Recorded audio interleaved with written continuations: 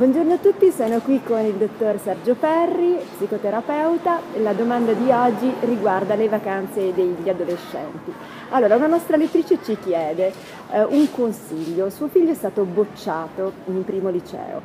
Bisogna eh, mandarlo in vacanza come, eh, come, vorrebbe suo marito oppure eh, costringerlo so, a stare con i genitori durante le vacanze o ottenerlo a Milano eh, cercando di punirlo in qualche modo perché per un anno non ha fatto assolutamente nulla. Qual è il consiglio dell'esperto?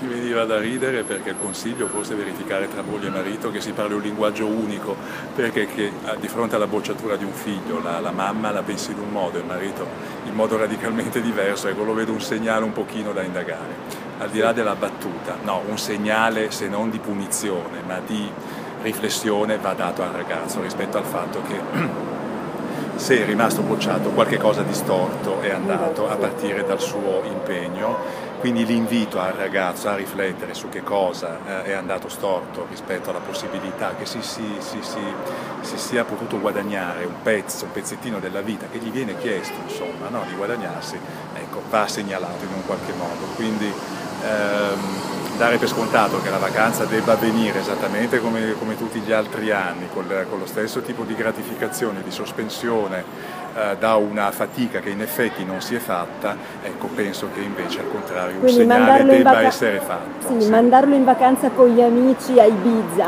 Una formula che possa essere ridimensionata, ecco, senza necessariamente essere veramente punitiva, che però nel ridimensionamento del, so, del, periodo, della meta, della destinazione, del divertimento. Ecco, qualche cosa che appunto in questa riformulazione della vacanza faccia segnalare al ragazzo che ci deve essere una discontinuità rispetto ad un evento di bocciatura avvenuto affinché appunto possa essere uno spunto di riflessione per il tempo a venire. Perfetto, quindi non deve andare in vacanza. non deve andare in vacanza alle condizioni dell'anno sì. precedente dove era stato promosso, insomma, quindi come premio. Va bene, grazie tante dottore.